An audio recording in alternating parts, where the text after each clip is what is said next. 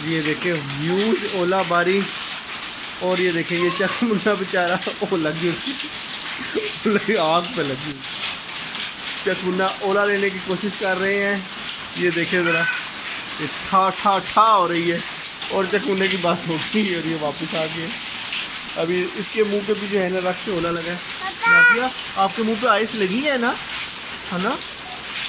आपके मुँह पे आइस लगी है इतनी ज़ोर के। इधर आके लगी इधर।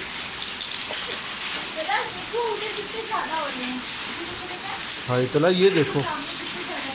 ये देखो ये देखो कितने ज़्यादा।